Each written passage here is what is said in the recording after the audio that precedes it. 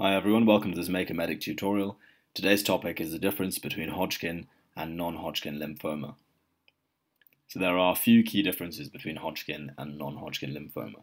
So let's first of all talk about Hodgkin's lymphoma.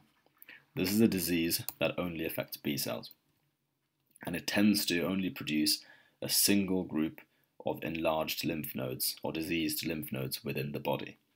And the pathological hallmark of Hodgkin lymphoma is the presence of Reed-Sternberg cells on a lymph node biopsy. And these are binucleate lymphocytes, which are sometimes described as owl's eyes because of the way that they appear.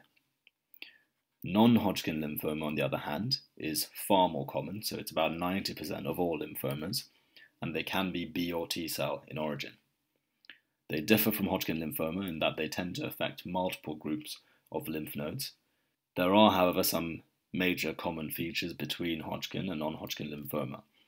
So that includes painless lymphadenopathy, which may be the way that many patients will present.